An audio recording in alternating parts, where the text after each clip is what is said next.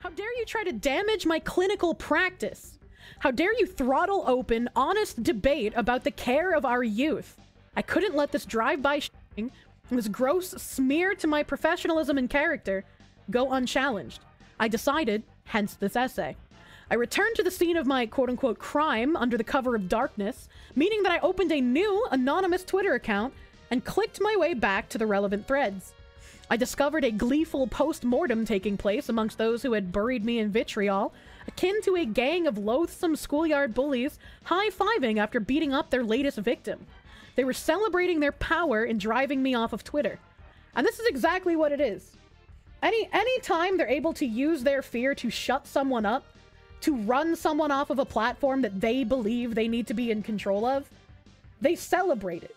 They celebrate another victory of using fear to control people. And this is this is why I've talked about previously. The Kiwi Farms fight is so important.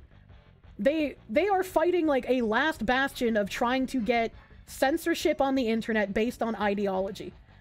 No matter what you think about how terrible like some of the shit that goes on there is, if that website is taken down because of insolent ideologues and activists, the gates are open. The gates are absolutely open after that.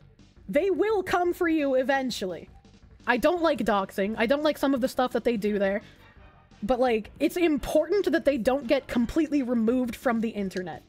And I think that's something that most people with functional rationality could agree on.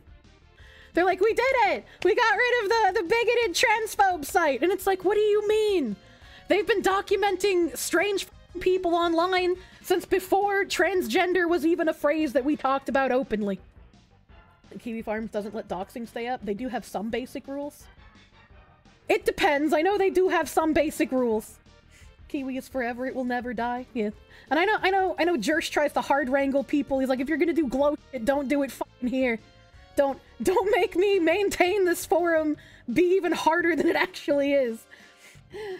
Don't be a terrible person. You probably won't have to worry about the farms. I mean, not necessarily true. I would say if you, typically if you have your own thread, you're probably too far gone, right? If you have your own thread, some shit's probably happened.